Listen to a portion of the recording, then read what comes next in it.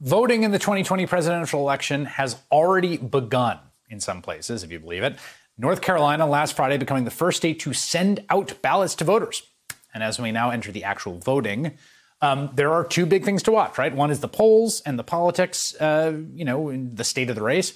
The other, which might become more determinative and important as we go forward, is how the election is administered and how the process of voting goes, how fair and equitable it is, uh, from mail in ballots to possible foreign interference.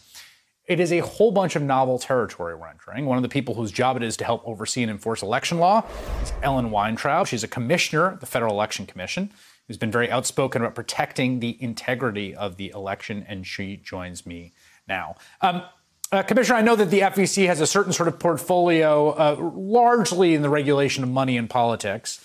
Um, you spend your time thinking a lot about the sort of uh, American election system. Um, so, in a broad sense, like how prepared, ready do you think the system is right now? Well, um, I've got my fingers crossed. I know that people across the country in the election administration business, which of course happens at the state and local level, are all working very hard night and day to try and get us prepared. It would be really good if they had more resources.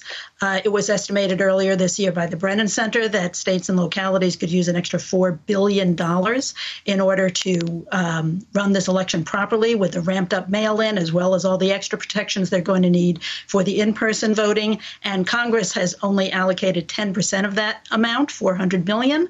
Um, the Zuckerbergs, uh, the Chan Zuckerbergs decided to throw in another 300 million. So that was nice of them. Uh, there are base, uh, sorry, basketball stadiums that are donating their space. There are uh, employers who are offering to pay their employees to be poll workers. So the entire country is trying to pull together, but it's starting to have the feel a little bit of a, a GoFundMe for the election which is re- really not the way we ought to be running our election. Having said that, I think yeah, I mean, that if everybody. Sort of little... Go ahead.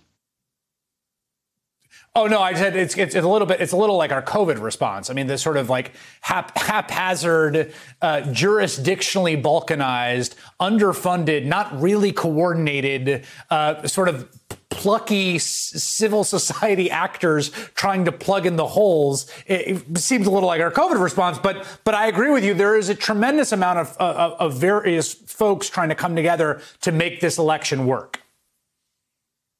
And I think that if people vote early, that's my biggest advice to everybody that it that you'll be okay. So if you're voting absentee, make sure that you are a registered and that you request your absentee ballot early. As you pointed out, North Carolina's already started to send those out. Other states are going to be following along soon. So get your absentee ballot at the soonest possible opportunity and then get it back at the soonest possible opportunity. If you don't want to put it in the mail, most jurisdictions have drop boxes, secure drop boxes, at least at the Board of Elections itself and often at other places throughout the community. Get your information from your Board of Elections from your Secretary of States. Go to vote.gov and you can follow the links to your own state and locality. Make sure you're getting reliable information. And if you decide to vote in person, yep. do that early too. It will take strain off the system on election day.